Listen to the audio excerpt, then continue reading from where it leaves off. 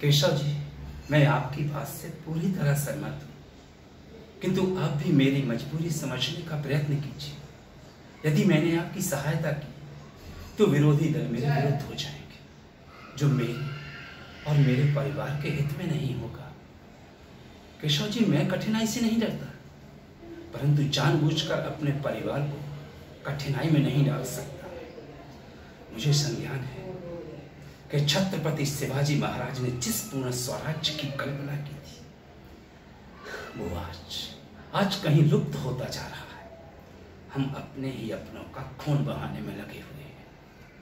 अगर ये सब ऐसे ही चलता रहा तो आने वाला समय मराठों का काला इतिहास बन जाएगा।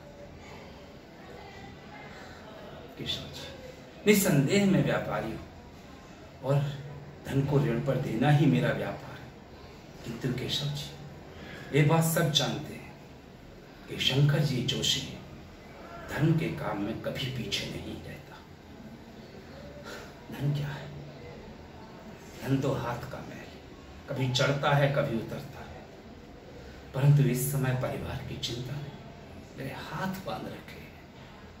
किंतु अगर आप कहें तो मैं आपको एक सुझाव आप एक डकैत दल बनाकर रात्रि के समय मेरे घर पर हल्ला बोल दीजिए। मैं तिजोरियों में पर्याप्त धन रख जिसे आप आसानी से ले जाइए। इससे विरोधी दलों को भनक तक नहीं लगेगी और आपकी सहायता हो जाएगी। फ़िलहाल मानव कल्याण की सेवा के लिए। मुझे इससे अच्छा दूसरा कोई उपाय नहीं सूझ रहा है